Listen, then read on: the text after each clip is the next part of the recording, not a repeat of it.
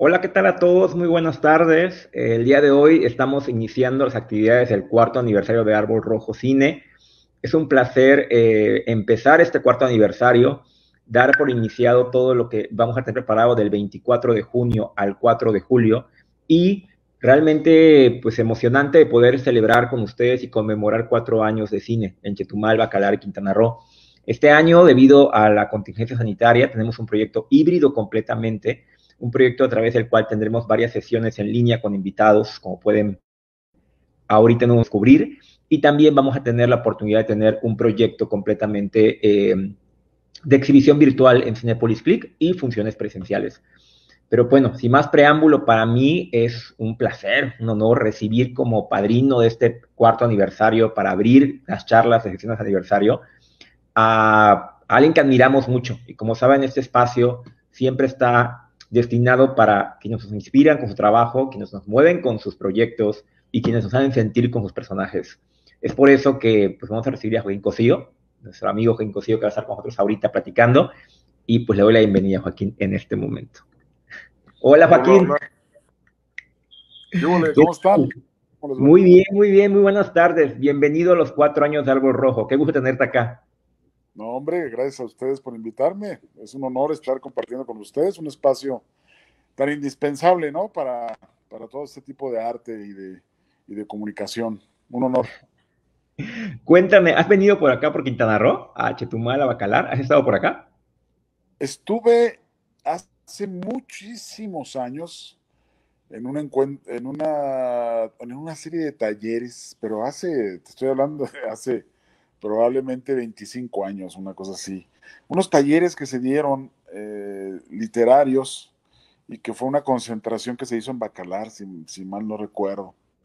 Pero ya ni siquiera recuerdo, solo recuerdo que era maravilloso el lugar y espléndido, pero no, es lo más que recuerdo de entonces. Sí, pero, bueno, ahora lamentablemente por la contingencia, pues ahora estamos un poquito limitados, pero nos encantaría recibirte más adelante. Y pues hace tiempo que queríamos platicar contigo, tú bien sabes, pero bueno, se han, ahí cruzado muchas cosas buenas en proyectos que la gente ha estado ocupada, pero para nosotros es muy, muy, muy importante y, por fin como una manera u otra tenerte aquí para inaugurar estos 10 días de cine que vamos a tener a nivel nacional con Cinepolis Click, con charlas con, con varios este, invitados. Entonces, pues bienvenido a este proyecto de descentralización fílmica a, Quintana Roo, de traer el cine que no llega al sureste mexicano y como el eslogan lo dice, todos los caminos llevan al sur. Gracias, gracias de verdad, sobre todo por esta intención de descentralizar y de sacar el cine de los grandes núcleos y llevarlo a estas fronteras. Yo soy fronterizo, pero del otro extremo, ¿no? Soy del norte y conozco perfectamente bien lo que significa la necesidad de descentralizar y de llevar a nuestras regiones lo que se produce en, en los grandes centros de producción. Esta charla, Joaquín, va enfocada mucho a practicar un poquito de tu trayectoria. Acá en el sureste, mucha gente que admira lo que has hecho en el cine, tus trabajos tan icónicos, en lo que viene también, que ya vi que anunciaron hoy algo importante, pero queremos saber cómo empieza la actuación en la vida de Joaquín Cosío. Si bien sabemos que es algo que viene desde adentro y desde que lo traemos eh, inerte a, la esencia del alma humana para después desarrollarlo. ¿Cómo fue tu primer acercamiento? Sé que por ahí empezó en el 2001, ¿no? Más o menos por ahí empezaste. Bueno, digamos que mi acercamiento profesional, es decir, cuando yo ya entro propiamente a la industria o a trabajar de manera ya remunerada, remunerada, digamos, ¿no? Es en el 2001, principios de 2000. Sin embargo, mi acercamiento con la actuación, con la interpretaciones mucho antes, es desde la preparatoria, desde que yo tenía 17, 18 años, yo empecé a actuar, empecé a, participar con un grupo teatral. Eh, el cine es el que aparece en el 2001, de pronto la televisión de manera muy fortuita. Yo, digamos que mis orígenes son de actor teatral mi expectativa durante, cuando yo era más joven, era ser actor teatral. Yo no tenía para nada contemplada la, participar en cine ni en televisión. Mi objetivo, mi pasión, mi búsqueda era el escenario. Sin embargo, bueno, la vida lo, no eres tú quien decide propiamente y de alguna manera, pues ahora estoy eh, participando más activamente en cine que en teatro, por ejemplo. ¿Cómo es que, cómo es que logras tú confiar, eh, o más que esto, invitarte a ser parte de, la parte de cine? ¿Cómo dar ese brinco de teatro a cine? Eh, en cuestiones de qué proyecto fue el que te enamoró o qué invitación fue la que se dio primeramente para que tú puedas entrar y de una manera u otra ya, como bien lo dices ahora, pues ser parte fundamental de tu carrera, ¿no? Si bien no dejamos el teatro, lo que viene de la televisión, las series, pero pues obviamente el cine es una proyección muy grande a nivel mundial ¿Y cómo fue este primer acercamiento con el cine en un proyecto? ¿Cuál fue? Sí, mira, fue una cosa muy casual. Yo estaba en la Ciudad de México, estaba haciendo teatro y había acá lo que se acostumbra es de pronto alguna agencia de castings, agencias que reciben eh, solicitudes de actores. Eh, fue a ver una obra teatral donde yo estaba participando, donde habíamos muchos actores, y nos habla y nos dice que nos quiere registrar, tener nuestro registro para cualquier tipo de, de proyecto. Yo voy a, que me, me saquen mis imágenes, a dar mi currículum, etc. Era un actor totalmente desconocido, pero en ese momento uno de los directores de casting me dice, espérame, espérame, andamos buscando un personaje, a lo mejor tú nos puedes dar ahí el tipo. Va, pues yo encantado, claro, claro, pues cómo no.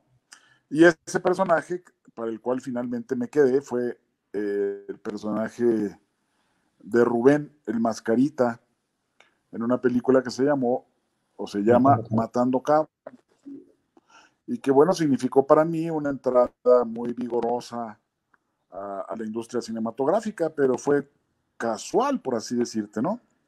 Eh, como te decía, yo iba a otra cosa y me vieron y me hicieron pruebas y casting y de pronto el director le me volvieron a hablar, etcétera, y yo fui el primer asombrado. Me dijeron, te quedaste con este papel. Ah, pues excelente. Ahí empieza, digamos que mi carrera en el cine propiamente.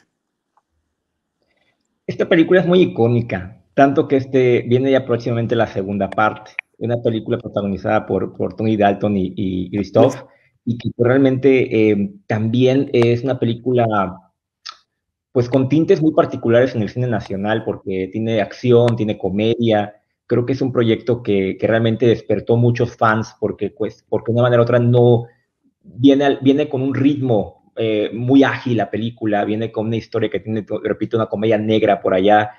Eh, viene una segunda parte, ¿no, Joaquín? ¿Cuándo, cuándo, ¿Cuándo piensan estrenarla? ¿Cómo es el proceso de la segunda parte? Sabes que ya la hicimos. Nos divertimos muchísimo haciendo.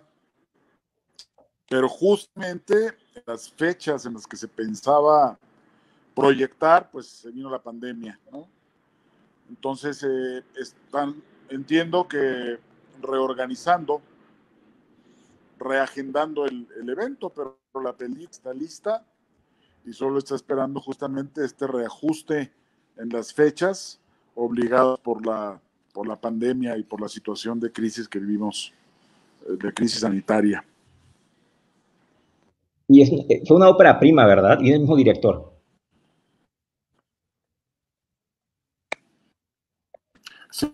Significó la primera experiencia para, muchos de nosotros, para Alejandro, eh, quien fue el, era su primera película, él había dirigido creo que series o algunas cosas así, él dirigió su primer largo. Igualmente, para mí, para uh, Silverio Palacios también, que hizo un papel muy memorable este, eh, claro, estuvimos eh, trabajando con grandes estrellas como Pedro Armendáriz. Sí. Eh, entre otros. Pero sí, involucró, fueron los primeros, de hecho fue el primer proyecto también de una productora que ahora es muy importante en el cine mexicano, que es Lemon, Lemon Films, de los hermanos Robsar. Sí, sí, sí, sí. por eso recalco, recalco mucho que fue un proyecto muy icónico con Ana Clara Talancón, con Pablo Armendáriz, contigo, con, con Silverio Palacios. Realmente fue una muy buena ópera prima, que por eso creo que impulsa que se haga una segunda parte muchos años después y que pues realmente estamos esperándola con, mucho. Yo al menos, a mí me encantó cuando la vi, hace bastantes años, que será 13 años, no más, más. Sí, eh, estamos hablando de 13, 14, sí. Exactamente, exactamente, exactamente. parece el vuelto del mascarita. Joaquín, eh, de una manera u otra también viene otra película pues, muy importante y, quisiera saber un poquito también cómo fue esto, porque bueno, viene, viene, la, viene esta participación en el infierno con Luis Estrada. Eh, obviamente Luis Estrada venía de, otras películas también importantísimas como La Ley de Herodes y, su filmografía como muy, muy trascendente. Eh, ¿Cómo fue el acercamiento con el infierno, Joaquín, para, para este personaje tan icónico? ¿Y cómo, cómo fue conocer a Luis Estrada y de una manera u otra sumarte al cine de Luis Estrada, que es todo un género?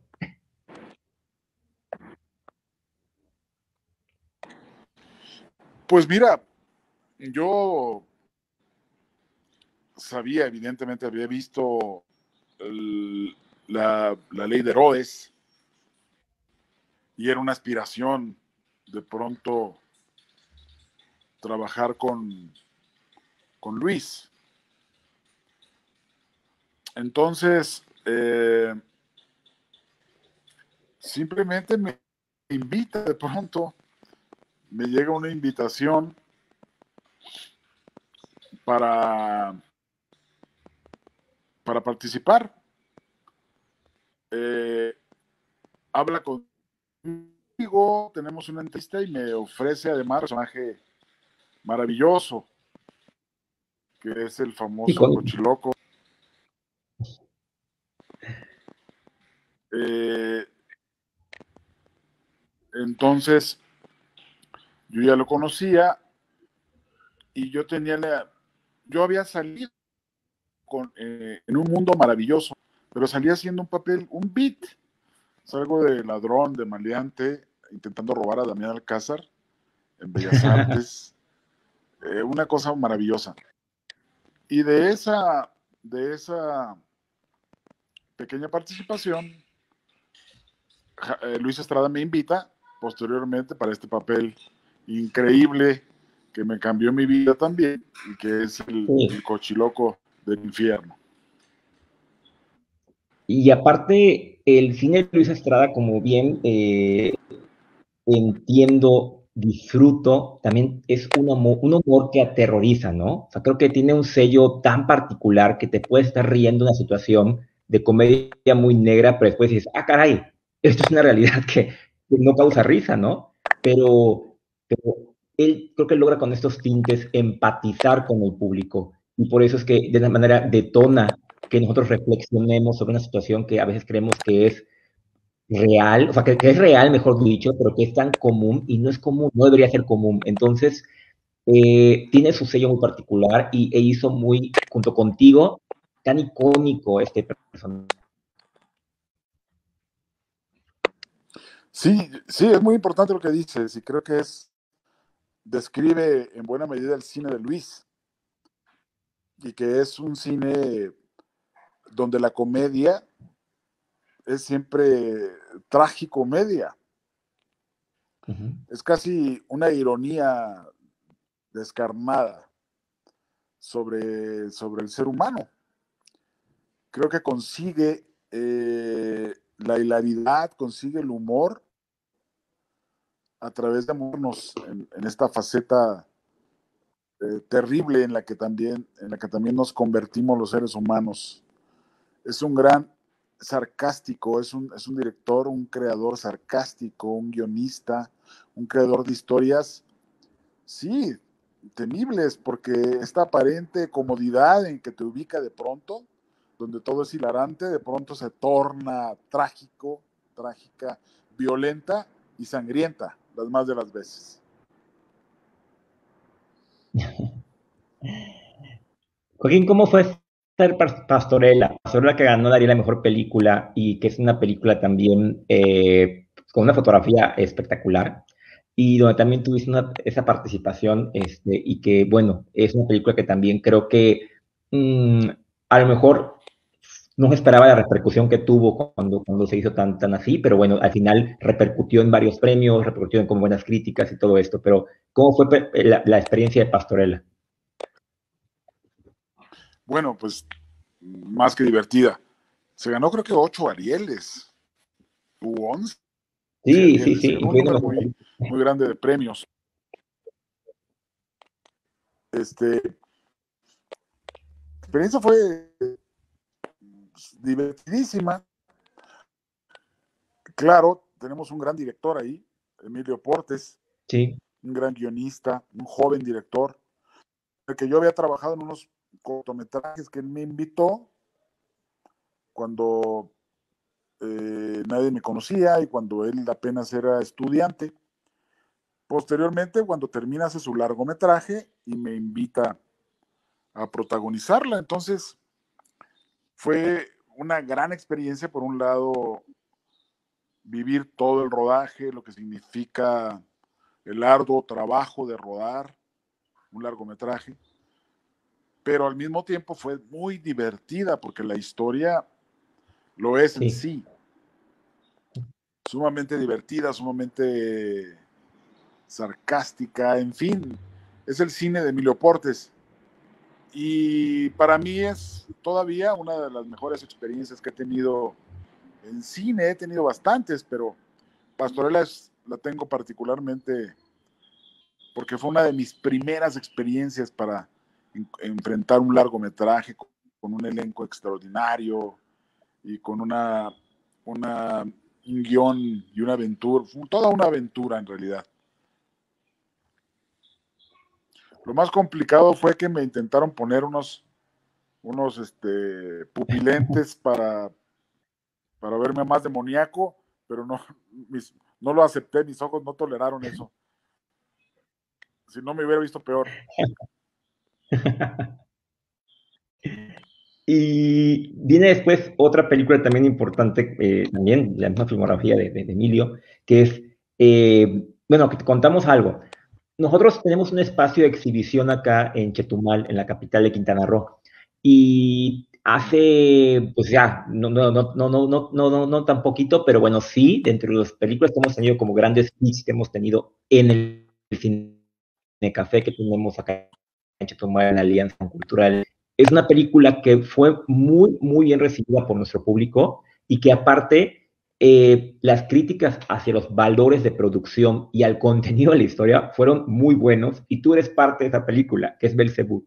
Entonces, eh, yo, por ejemplo, aquí en Chetumal, de una manera u otra, has llegado con esta cinta. Tuvimos creo que cinco funciones de la película eh, en, nuestra, en nuestra cartelera y nos fue excelentemente bien con todo el contenido. Yo quería preguntarte sobre esta experiencia de Belcebú, pero sobre todo de la factura tan pues, buena que tiene la película, ¿no? Es una factura increíble que tiene. Y, y, bueno, y es un tema, pues obviamente de género, que es muy difícil que en nuestro país sucedan estas películas, ¿no? Sí, eh, yo creo que Belcebú es muy, es innovadora en varios sentidos. Como tú bien lo dices, ¿no? Aunque hay una tradición de cine mexicano de terror, no es necesariamente una beta, una beta muy explotada. Y creo que Belcebú se recupera, recupera ese, esa vertiente de miedo, de cine de miedo, para decirlo en palabras muy francas, de un cine que de pronto, ah, caray, creo que Belcebú logra en algún momento eh, asustar al público. Creo que Belcebú es pastorela en serio. Si vemos las similitudes, solo que Pastorela es una comedia, pero también hablan de lo mismo, de una posesión, de un personaje eh, atormentado, etcétera, ¿no? Claro, vienen del mismo autor. Pero Belcebú es una joya desde mi particular punto de vista, porque se encuentra en un ambiente muy inhóspito, en, el fenómeno, en, el, universo del cine mexicano, donde las preguntas son hasta cómo hacer efectos que no se vean mal Para, generar atmósferas demoníacas. yo creo que Belcebú lo logra. Belcebú lo consigue con, con efectos sencillos, como esta famosa carretilla o este, de bebé que se desplaza y que pega con una puerta y genera un... En fin, eso es parte del gran talento de Emilio y de su equipo y de sus guionistas. ¿Cómo consigue realmente asustarnos con escenas y detalles que, que recupera con un gran talento?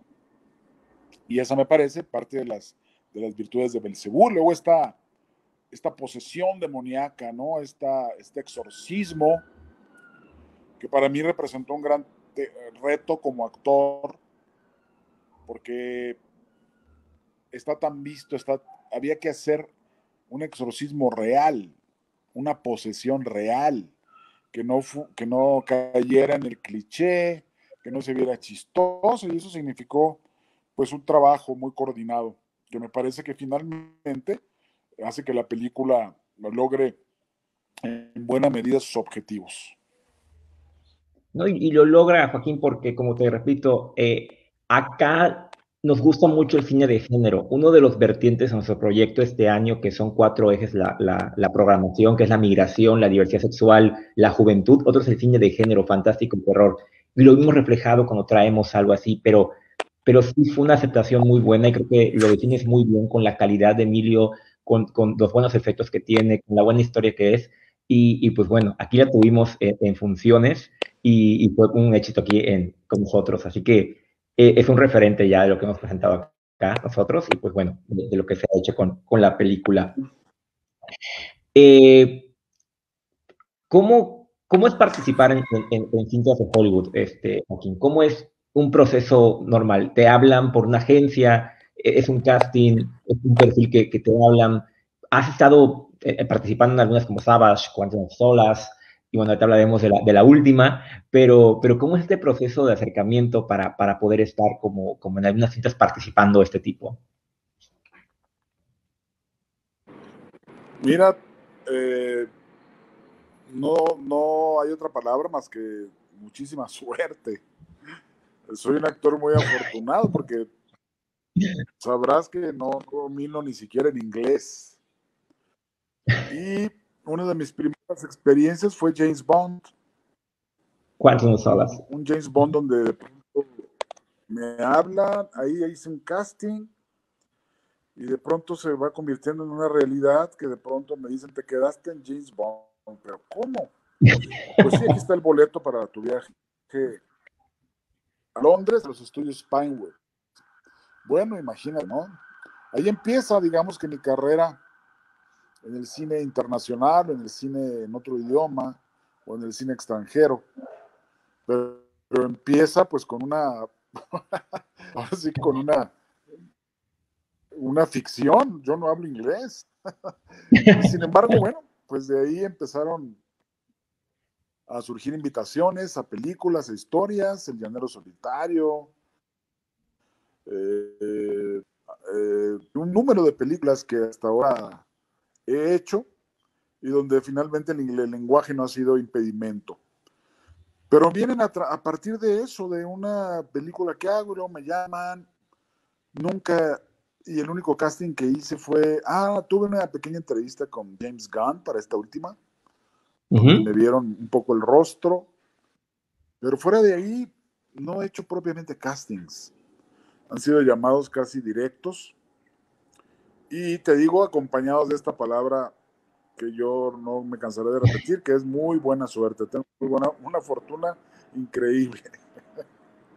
¿Cómo, ¿Cómo, ha sido la experiencia, Joaquín, en trabajar en, en, en diferentes industrias? Eh, no, no me da otra, eh, también es un aprendizaje, ¿no? Y, y, se lleva a todas partes, ¿no? Cada experiencia, ¿no? ¿Cómo han sido las experiencias en particular? Es que pasa un avión aquí, estamos en el cruce de aviones del aeropuerto. No te escuché. Ah, te comentaba cómo, ha sido la, experiencia de trabajar en, ese tipo de industria, a lo mejor. Eh, ¿Qué te lleva siempre de, ese tipo de, ah. rodajes o cuando trabajas en producciones más grandes? Eh, de todos nos llevamos algo, por supuesto que todos aprende algo y todas son importantes, ¿no? Pero al fin y al cabo, ¿cómo, cómo tú, en, que estuviste en este proyecto, cómo es que, que, puedes decirnos una experiencia que haya pasado, que te haya asombrado o que hayas tenido como aprendizaje? Sí. Mira, lo, lo que aprendí, sin lugar lo, lo, lo que rápidamente constaté es que el cine es el mismo aquí, en China, en Hollywood, en la India. Hay una cámara a la cual tú tienes que cuidar, hay una marca a la que tienes que llegar, y como dice Anthony Hopkins, lo único que tenemos que hacer como actores es aprendernos bien la letra. Es decir, el cine es el mismo. Hollywood, por fortuna, está fuera de los estudios. Los estudios que están en, Los Ángeles, en esta zona famosa, son iguales a los estudios Churubusco. Y finalmente, el trabajo y la situación es la misma. Lo que es distinto son los caterings. los caterings, esta es la comida abundantísima de los estudios americanos, ¿no? Es brutal a cualquier hora puedes llegar a tomarte un café o pedir un sándwich. Bueno, esto es un, pequeño paréntesis de lo que más me gusta. Pero eh, fuera de ahí, fuera de ahí la experiencia es igual. De verdad, la experiencia es la misma, ¿no? Y la responsabilidad tuya es exactamente la misma como actor. Así estés frente a, Johnny Depp o estés frente a Gerardo Taracena o a frente a Jesús Ochoa o a a Daniel Craig, es lo mismo. Una ficción a la que tú tienes que respetar, a la que tú tienes que asumir, una ficción maravillosa a la que juegas, y donde el otro, esa gran estrella, se convierte en alguien como tú, que está jugando. Exacto. Y no hay cosa más maravillosa que ver al otro actor a los ojos. ¿Perdón? Una, una profesión, desenvolver una profesión, todos al mismo tiempo. De trabajo. Es que se Sí, exactamente, sí, todos somos colaboradores y todos están, pero de la mejor manera posible. Todos estamos jugando el mismo juego. Y eso es maravilloso, es maravilloso de verdad. Es un regalo de la profesión, ¿no? Que podamos ver, pues ver a, esta gran estrella como, mm, yo no sé, insisto en Johnny Depp, que es tan famoso, ¿no? Que llegaba en helicóptero al set. Y sin embargo, en la escena lo ves a los ojos y le hablas al tú y dices, ¿cómo le, porque en ese momento desaparece la estrella y aparece el personaje y es al que, te, al que le hablas, ¿no? Exacto, exactamente, Joaquín, exactamente. Híjole, 6 de agosto viene el Escuadrón Suicida 2, un proyecto de James Gunn, un proyecto que estamos esperando muchísimo porque es un director que viene de dos películas del universo eh, de superhéroes, en este caso fue Marvel, muy celebradas como Guardianes de la, de la Galaxia. O sea, dos películas, pero muy celebradas las dos, de lo mejor que ha visto en entretenimiento de superhéroes. Después de que se hizo la primera parte de Escuadrón Suicida, que le fue muy bien en taquilla, tomar la batuta James Gunn de un proyecto, siento que de una manera u otra le, nos emociona, a mí personalmente, saber qué va a pasar con Suicida y James Gunn, ¿no? Como director de esta película, ¿no? Es un elenco inmenso, es un, un reparto coral maravilloso. Y y, se, estrena ya, ¿no? Se estrena el 6 de agosto. ¿Cómo fue tu experiencia con el Escuadrón sí. Suicida, Joaquín? No, pues imagínate, ni más ni menos que con Margot Robin, ¿no? Idris Elba, Peter Capaldi, un actor nominado al Oscar, ganador del Oscar, no estoy seguro. Pues asombrosa, yo todavía cuando veo las escenas, vi algunas escenas, etcétera, pues te, sientes muy lento, muy afortunado de nueva cuenta. Eh, entrar a una gran producción, he tenido mucha suerte porque he estado en grandes producciones, en películas igual, igual que en pequeñas como A Better Life, una película muy breve, muy pequeñita con que dice que es muy bella. He estado en grandes producciones y bueno, estar en el Escuadrón Suicida, no sabes, la gran aventura que significó estar en esos impresionantes estudios, en esos escenarios tan majestuosos. La filmamos en Panamá, filmamos en Estados Unidos. Y pues de pronto trabajar con esos, ese elenco de, de, grandes estrellas, pues es, es divertido, es algo que agradeces y es algo que te hace amar más tu profesión. Cuando te dan la oportunidad de, de, de estar con ellos y de saber que puedes responder a, lo que estrellas de esta magnitud te dicen, o que puedes jugar con ellos, como si jugaras un juego de fútbol con las grandes estrellas, ¿no? Entonces eso me da muchas satisfacciones, pero sobre todo me dejan lo mejor, me divertí. Y creo yo que la posibilidad de nosotros en esto es divertirnos, porque si te diviertes tú, se divierte el público. ¿Ya viste el corte final, Joaquín? ¿Has podido ver el corte final de la película? ¿Qué vamos a esperar de ella? Porque James Wan declaró que es una aventura, una fantasía ahí distorsionada y, muchos adjetivos, pero muy atractivos que estamos escuchando. ¿Ya pudiste verla? No, no, no. No, no hemos visto nada, si acaso los trailers que han salido. Eh, vi algunas cosas, ahora quise algunas cosas de doblaje y de voz pero no he visto para nada la película. Claro, se ve fenomenal. Sí. No tengo la menor duda, va a ser un, un gran, un gran éxito, ¿no? Tiene todo, la, lo poco que vi es increíble. Fotografía se ve fabulosa. El, pues no se, no se diga más del casting, ¿no? Los actores son increíbles también. Va a ser un gran suceso. 6 de agosto, el Escuadrón Suya 2 por aquí con todo el elenco entró Joaquín Cosío y dirigida por James Com. ¿Qué viene, Joaquín? ¿Qué proyectos tienes ahorita que nos puedas compartir? Que se puedan decir, obviamente. ¿Qué proyectos vienen próximamente?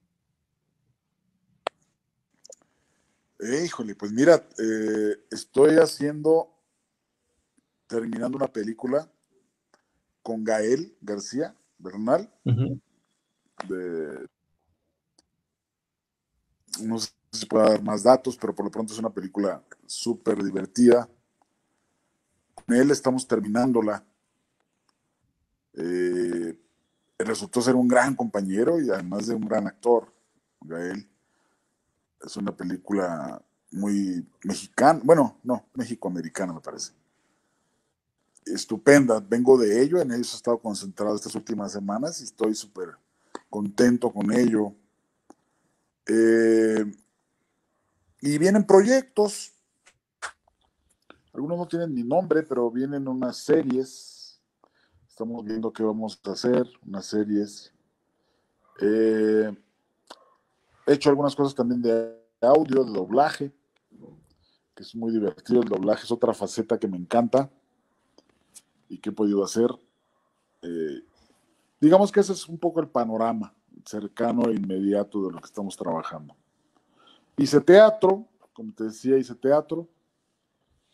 Y yo creo que nos toca ahora un par de, de, de semanas de vacaciones. Y luego nos vamos con Luis Estrada, la nueva película. ¿Es la misma de Damián? Fuimos a Damián hace unos meses. Estaba hablando con nosotros sobre algo así. Sí, sí, Sí, supongo yo. Damián es el actor ícono de, de, Luis, ¿no? Sí, tuvimos a Damián hace unos meses con nosotros, platicó sobre un poquito sobre, sobre esto. Pero bueno, vienen muchas cosas por ahí en puerta como, como, como ya a la par y pues estaremos súper pendientes de esto. Para ir cerrando, Joaquín, claro. eh, ¿cómo, cómo, cómo, ¿cómo viste el tema, cómo ves el, el panorama actual del cine ante la nueva normalidad, ante lo que está pasando? Eh, todo el tema de, de, qué, qué, te trajo a ti como reflexión, a lo mejor el tema de la pandemia, todo esto, a ti como, como, como actor, por ejemplo, ¿no? Primero que nada a nivel laboral.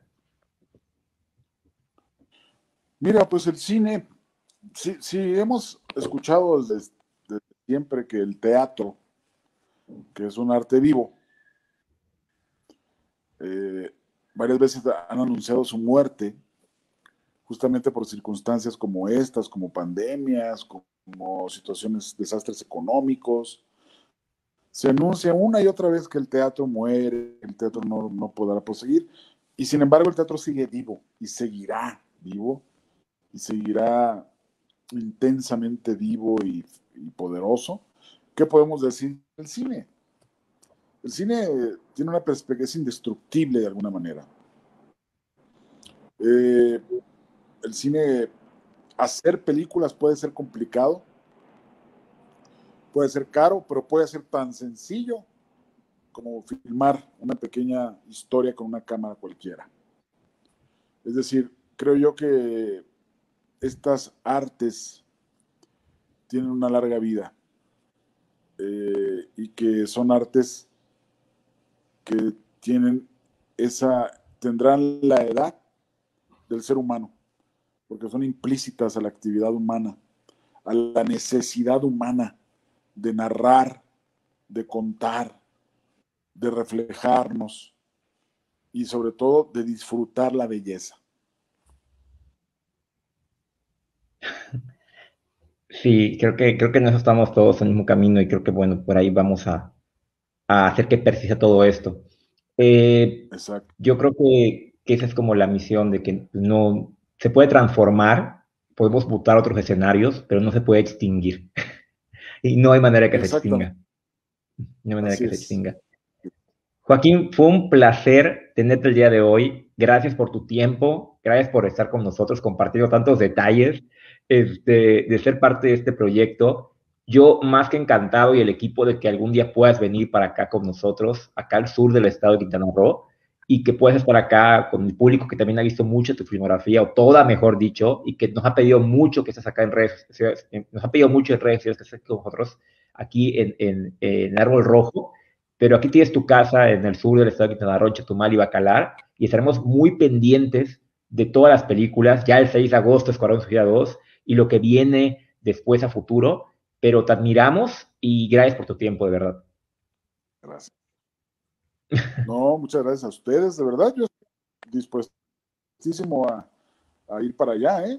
Ustedes invítenme y ahí nos vemos. Gracias por este espacio, gracias por... Eh, por el ímpetu de ustedes, ¿no? Por fomentar y trabajar la difusión de, las actividades artísticas. Es, es un espacio indispensable y yo no tengo más que agradecimiento por haberme invitado y permitirme charlar contigo, Alejandro. Gracias, de verdad. Un placer, Joaquín. Te mandamos un abrazo a Ciudad de México, éxito en todo lo que viene y gracias por inaugurar este cuarto aniversario de Árbol Rojo de 10 días de cine. Estés muy bien. Hasta luego. Que esté muy bien, bien. Nos vemos. Bye bye. Bye.